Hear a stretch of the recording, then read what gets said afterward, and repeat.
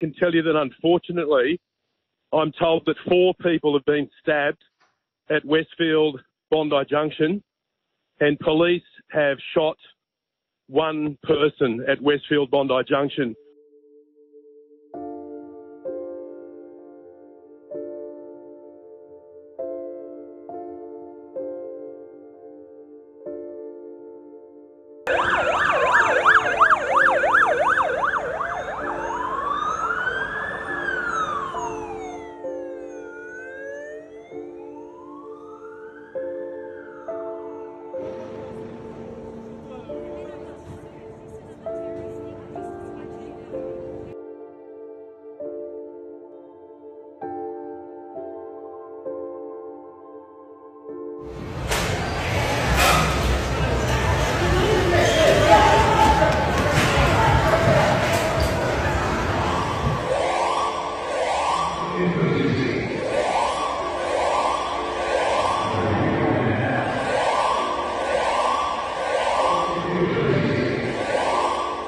Mum got stabbed and the mum come over with a baby and, and threw it at me and just holding the baby. Yeah, it looked pretty bad, but yeah. And how were you able to help out?